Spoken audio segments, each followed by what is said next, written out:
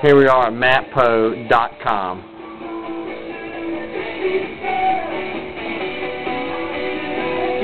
This is for all you power lifters out there.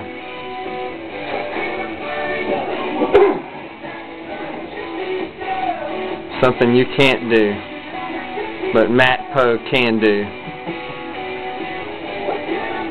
We're thinking about having a new website called Matt Poe Can Do.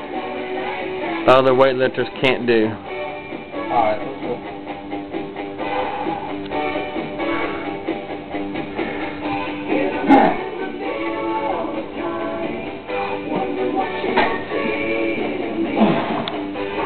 This is some heavy weight. 290 pounds.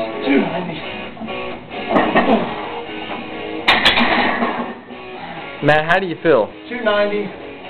Extra light.